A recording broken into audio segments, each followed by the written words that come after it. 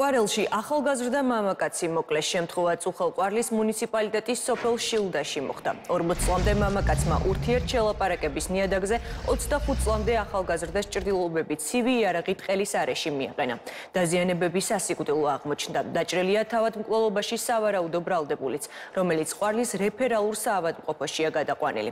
რა გახდა დაპირისპირების მიზეზი ჯერჯერობით უცნობია. შინაგან საქმეთა სამინისტროს ინფორმაციით, მომხდართან დაკავშირებით ერთი პირი უკვე დაკავებულია. გამოძიება სისხლის სამართლის კოდექსის 108-ვე მუხლით მიმდინარეობს, რაც განზრახ მკლავობას გულისხმობს. ადროს გაიგეთ. დილას დამირეკა გამოძიება, რომ ჩამოდივა ჩაველა იკაველა. არის შილდაში მომხდა. როგორც გავიგე და როგორც მეთქვა შილდაში.